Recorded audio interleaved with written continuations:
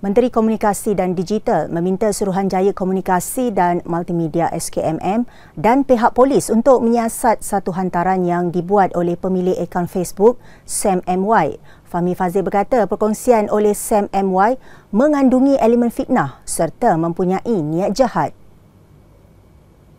Menurut Fahmi, pemilik Facebook berkenaan telah berkongsi gambar lama daripada kenalan beliau yang telah meninggal dunia. Beliau turut berkongsi kerata layar perkongsian individu berkenaan.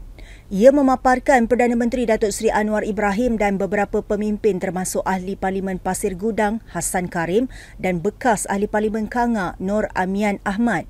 Dalam gambar itu, pemimpin terbabit sedang dijamu dengan dua talam besar makanan mewah.